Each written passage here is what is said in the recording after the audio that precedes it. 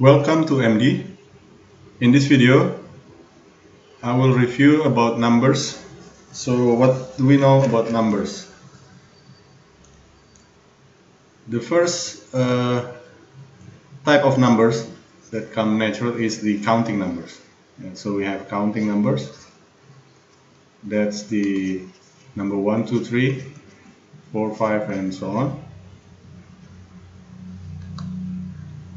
One, two, three, four.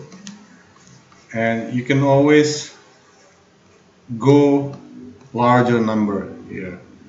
So give me a number, 1 million. I go 1 million and 1. So 1 billion, 1 billion and 1. So they, they go forever. There's no boundary. And uh, the mathematician come up with the concept of infinity but infinity is not a number it's a concept. Because you, you cannot do to infinity what you do with normal numbers right? What is one infinity plus one infinity? Is that two infinity? So that doesn't work. But uh, there is a concept of infinity. Uh, let's call this uh, set of number is n the natural number or counting numbers and then uh, there is a zero uh, because you want to have 3 minus 3 equals 0 uh, you can do addition uh, multiplication with 0 0 times anything will be 0 but you cannot do division with 0 it doesn't work with, with division here the 0 and there's negative number uh, so you have 2 minus 3 equals to minus 1 so we have integers.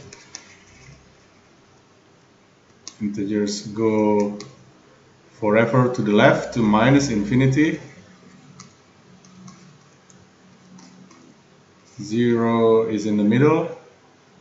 And 1 2 3 and so on. This set is the set of integers. Let's call that z. Then you have the rational numbers. Rational number. That means uh, all numbers that can be written as ratio between two integers. Yeah. So let's say you have 1 over 2 minus 4 over 5 that's in, in uh, ratio between two integers uh, you can have fractions larger than 1 so let's say uh, 5 over 3 is fraction. You can uh, have decimal. Decimal because decimal is also like 0 0.12 that that's actually uh, 12 over 100 and so on. Now you, you see that whole numbers uh, integers and counting numbers. Integers is actually uh, a subset of rationals yeah. Because because you you can have like 2 is actually the 2 over 1 or uh, 4 over 2 yeah division. So like uh, you can go like uh, 10,000 divided by 5,000 that's also 2 so when we talk about rational number, actually we have the equivalence class. Equivalence class. Because uh, if you if you let's say uh, I want to have this number 1 over 2. 1 over 2 is the same as all the set of x such that x can be uh, 1 over 2 uh, can be 2 over 4 5 over 10 or even 1000 over 2000 or I can do ratio of two negative numbers like uh, minus 5 over minus 10 so a whole bunch of things. That's a equivalence class. That's why we have these equivalent fractions. Yeah when, when you want to add like for example uh, 2 over 3 plus 5 over 4 you cannot add this because they are of different uh, denominators so you try to pick one of the equivalents of 2 over 3 because we know 2 over 3 is the same as 10 over 15 yeah this is the equivalence of 2 over 3 and then you go with the equivalence of 4 over 5 that's uh, 12 over 15 so you get the result of 27 over 15 sorry 22 over 15 22 over 15 or you, you can write this as uh, improper fraction like this or you, you can go to mixed fractions because this is larger than 1 15 and then the remainder is 7 so you have 1 7 over 15 now uh, the decimals is also a uh, fraction because any decimal is actually a ratio between two numbers. So if you write 0.25 that is essentially means 25 over 100 so it's a rational number. Now one thing that we notice about rational number is when you try to do decimal representation of uh, fraction you can have like a unending decimal. The say you have 1 over 3 if you write this as decimal it will go 0.3333 and without any ending. So it, goes on forever. Now uh, rather than writing down all the decimal points here the decimal places uh, you can write like 0 0.3 this. This is the called recurring decimal. Recurring decimal. Recurring decimal means it's repeated like this. Or, or sometimes you can write 0 0.3 with the yeah, that's also the recurring decimal.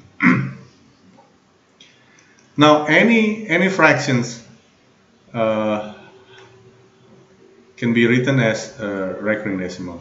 Let's say uh, I want to divide like uh, say 7 divided by 39. I'm gonna go with my calculator to see the decimal. Uh, where's my calculator? Let's go to the calculator.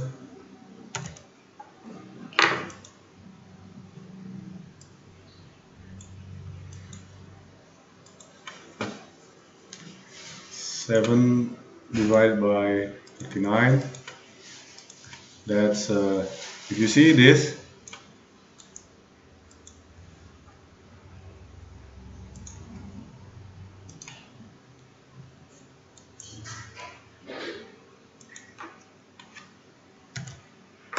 that's actual uh,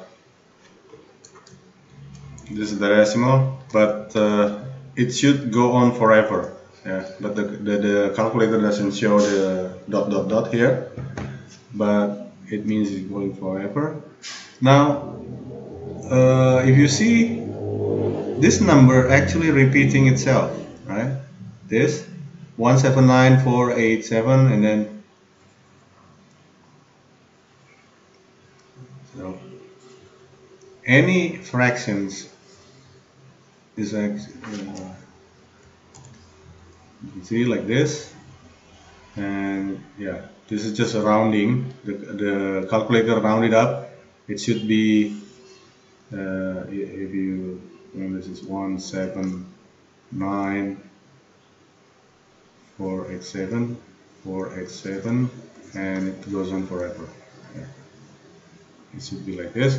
So uh, you can write this as 0 point 179 4 7 this so this is denoting that this will be repeating re recurring decimal. Okay that's rational number. Uh, but there is a number that cannot be represented by a recurring decimal uh, so if you have uh, now now we have the irrational number so irrational number means numbers that cannot be written as ratio between two whole numbers. So irrationals uh,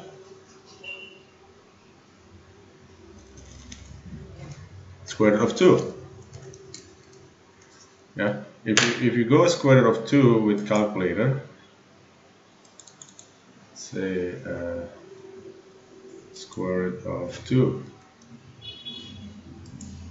sorry that's not how it works. So you write 2 and then press the square root. Okay so you have this square root of 2 however uh, large the decimal is you, you cannot have the recurring decimal. So square root of 2 that's okay let me just do this then there is a number pi, that's also irrational, uh, e, or any other uh,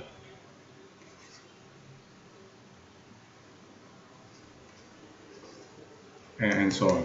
Uh, this set is the irrational numbers. Let's call that E, uh, I. So if I want to write square of 2, then this is uh, non-ending but there is no pattern actually. There is no uh, repeating uh, decimal here. 4 1 4 and so on and so on.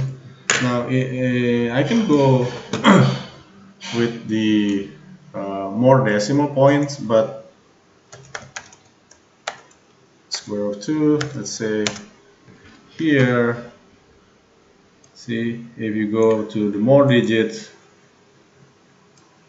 uh, even more digits there is no pattern there's no repeating pattern. So that's the property of irrational number. You cannot have a decimal representation that have repeating decimal uh, places now let's try also number pi pi is also irrational. So if you go to more digits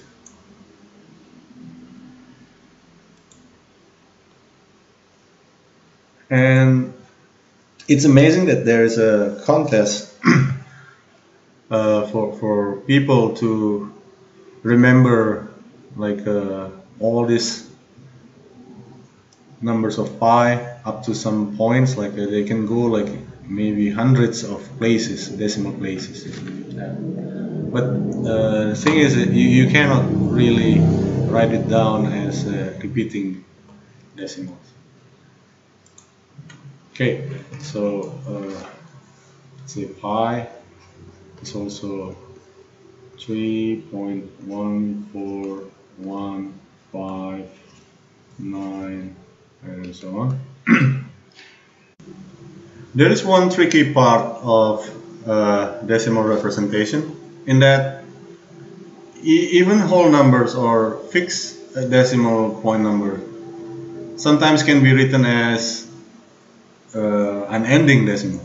So, for example, uh, I want to show you that actually 1 is equal, exactly equal to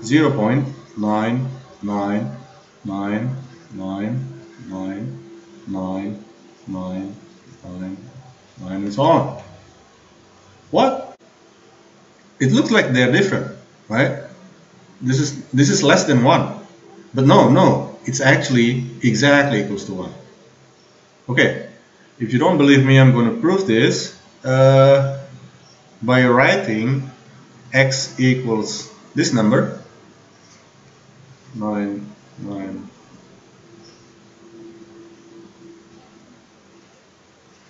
and it, this decimal goes on forever but if I multiply by 10 then I get 9.9999999 and so on. Now, if I subtract 10x minus x, it's going to be 9x, and that means I'm I'm uh, I'm subtracting this 9.9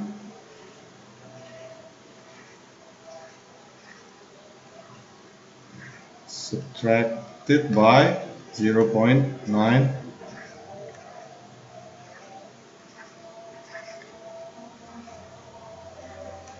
so the result is 9x here 10 minus 1 10x minus 1x that's 9x equals to 9 exactly 9 so that means x equals to 1 right? So I have proved that 0 0.99999 is actually equals to 1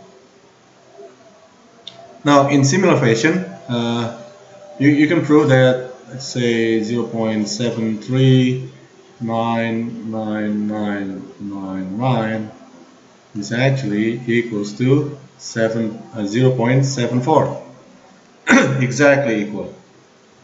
Okay so that's all about decimals.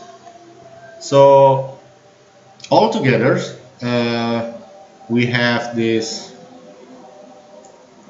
counting numbers which is part of the integers. Integers include counting numbers negative counting numbers and zero and the rational. The rational number. This is rational. And there is the irrational numbers which cannot be written as ratio of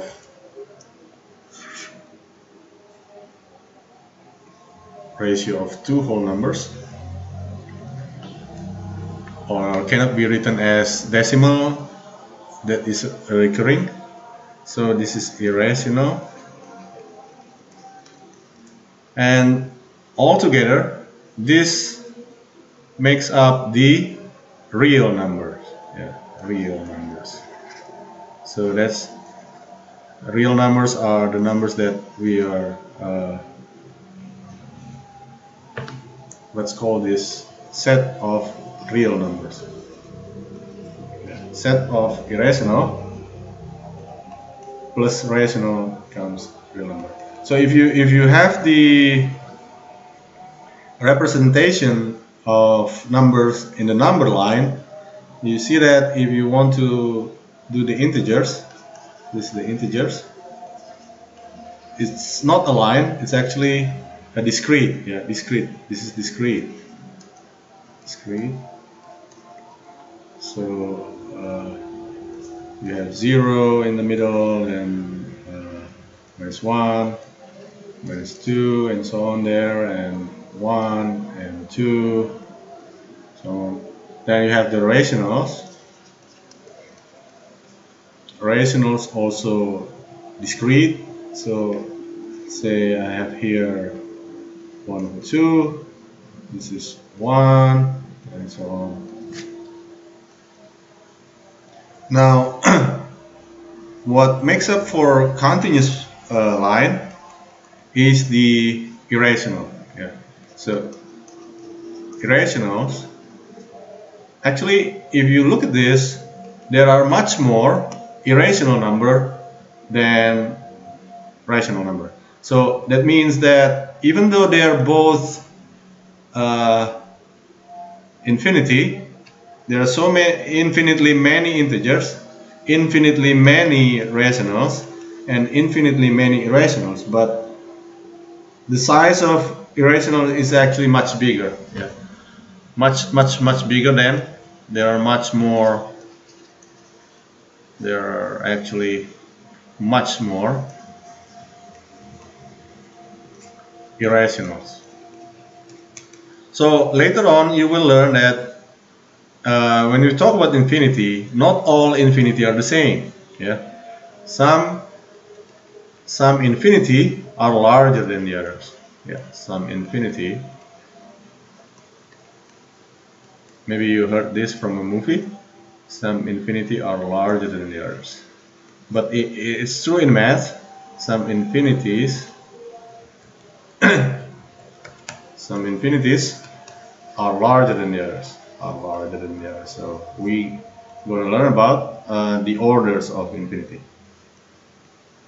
Then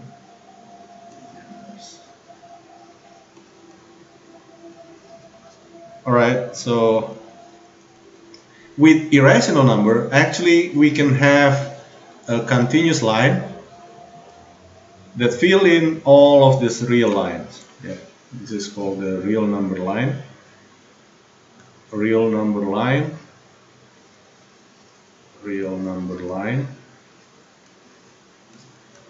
So if we have the zero here discrete uh, integers and then decimals and fractions re recurring decimals.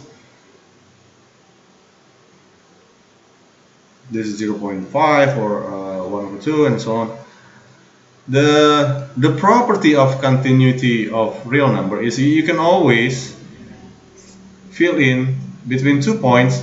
You can always fill in this line. So this is 0 this is 0.1 you can always go with the number in between that's 0.05 and then if you go 0.05 here 0.05 then there is a 0.025 you go uh, so continuous means you can cut however small and it will never end. So continuity of real line means uh, you can go arbitrarily very small but never really approaches zero so that's the concept of infinitesimal the continuity of real line and the concept of infinitesimal is what allows us to do calculus. In calculus, the central theme is taking limits. For example, you, you can take a limit x approaches zero, but never really uh, equals to zero.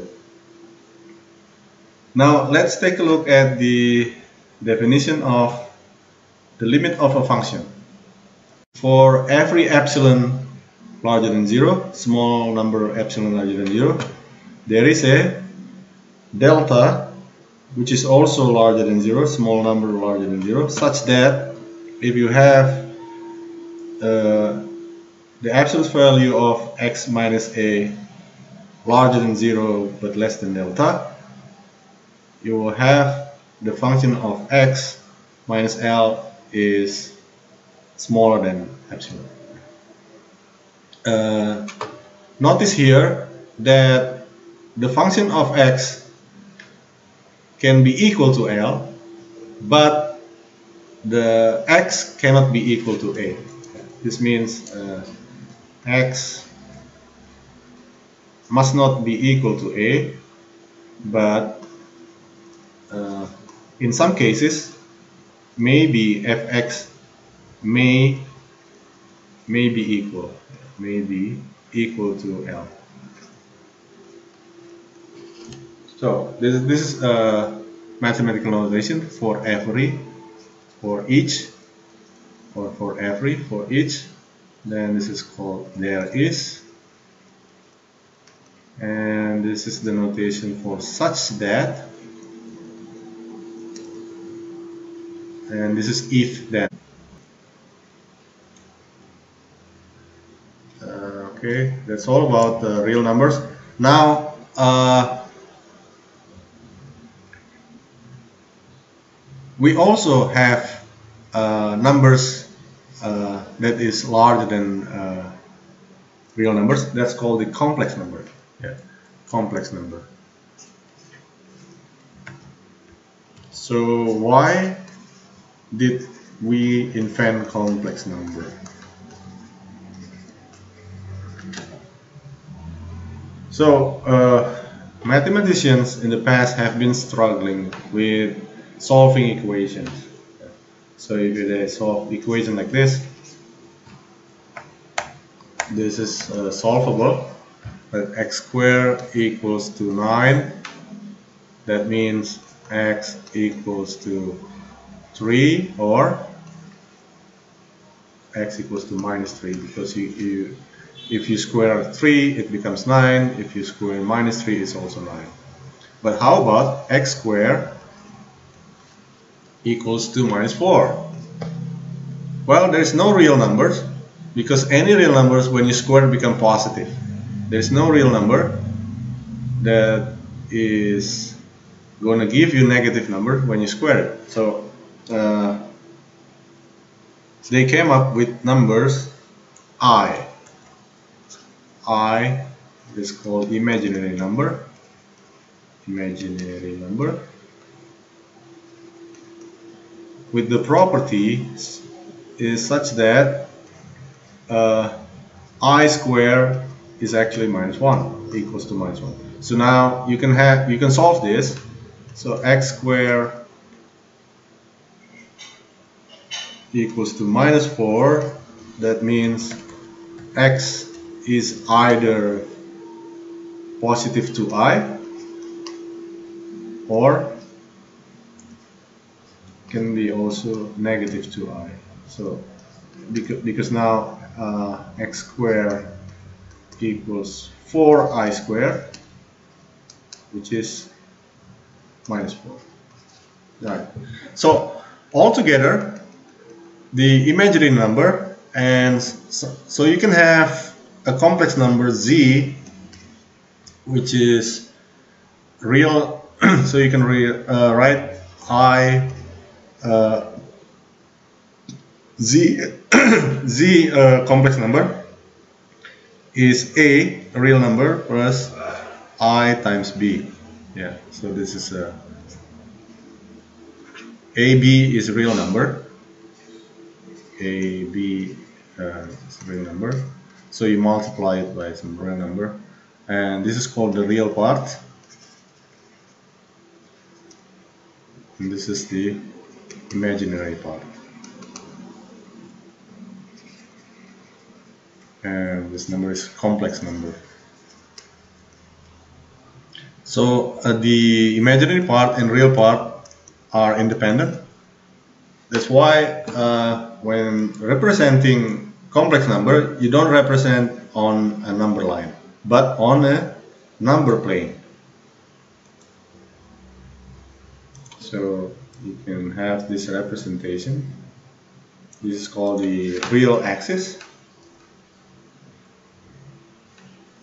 This is the real axis. Real axis. And this is the imaginary axis or you, you can uh, now have let's say this is x and y if I have a number this let's say this number p is equals to let's say 2 comma 3 that means it's 2 plus 3i yeah, so all this uh, leads to some different uh, and stunning uh, consequence when we deal with the complex number. And if can you go even higher dimensions? Yeah, Quaternion you can have actually uh, one real dimension and then three imaginary dimension So it's uh, four dimensions, uh, one real and three imaginary dimensions. And you, you, can actually go forever and generalize this to higher, but uh, we won't go that far. Okay, that's all I have to say about numbers. I hope this uh, give some insights about uh, math. And thank you for watching. Bye